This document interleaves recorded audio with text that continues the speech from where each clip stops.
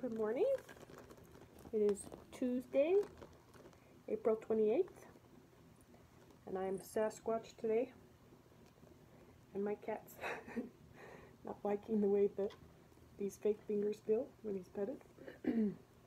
so I have to tell you a story about my Sasquatch costume. Every year we go and get our own Christmas trees out in the woods. And my brother would tease the kids saying that there's a Sasquatch. And so one year I bought this costume and hid out in the woods just to scare the kids.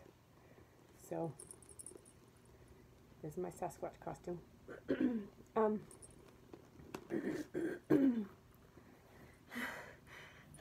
it's hard to breathe. okay, this is what you need to be working on. Any missing assignments, right?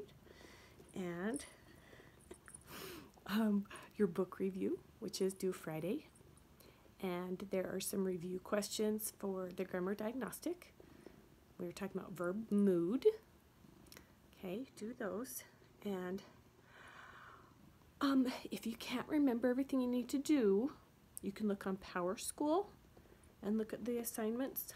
And also on the homepage of Canvas, there's the list of work that needs to be due by May 1st. Okay, so to get caught up.